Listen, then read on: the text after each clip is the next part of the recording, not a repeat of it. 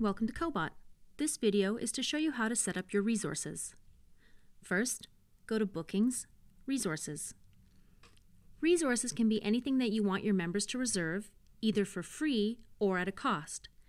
These should only be short-term rental products, such as meeting rooms, desks, equipment, or time in a studio or event space. Let's start at the top. First, enter in your resource's name, a price per hour, and a description so your members know what they are booking. The price per hour will be the default amount, so be sure to add your base rate for this resource here. You can add custom tax rates for resources within your member plans, which we will review in the next video.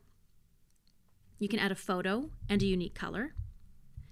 Further steps allow you to add minimum and maximum duration of bookable time, which will stop your members from being able to create a booking outside of these.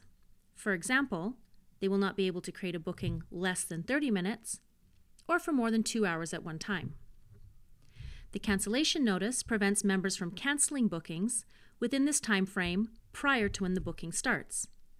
So if you add 24, then the member will not be able to cancel the booking within 24 hours of that start time. The number of units indicates how many people can book that resource at one time. For example, if you have one meeting room, enter 1.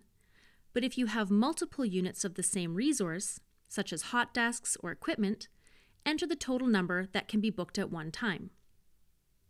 The capacity indicates how many people can physically fit into that meeting room or event space.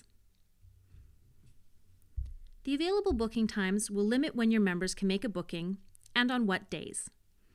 So if you add Monday to Friday, then members will not be able to book on the weekends. If you add a time frame of 9 a.m. to 5 p.m., then they will not be able to book outside of those times. Keep in mind when working with the booking calendar that as an admin, you will have override capabilities. This means you will always be able to book your resources for more or less time than you have added above, and on days of the week outside of these settings. You can then choose to make the resource hidden or only bookable by admins.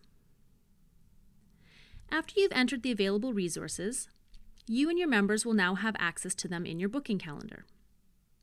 If you have multiple kinds of resources, you can separate them further into categories.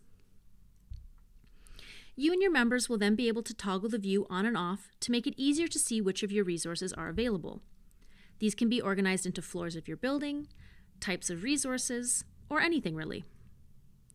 To make a booking as an admin, click on the booking calendar and then New Booking. You can now select the date, time, and duration of the booking. Keep in mind, members will only be able to make bookings under their name, but you, as an admin, will be able to choose the member you would like to make the booking under, or you can just leave it blank. You can also add a title and comments if relevant. This will then appear on your booking calendar and will be visible to all members who have access to their member portal, as well as other admins of your space. If you do not want your member data, such as the person's name, to be visible to other members in your space, then you can click on Calendar Settings and hide booking details from other members.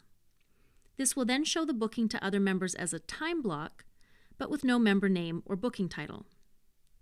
You can switch the views between monthly, weekly, or day. Let's move on to our next video about how to set up your member plans.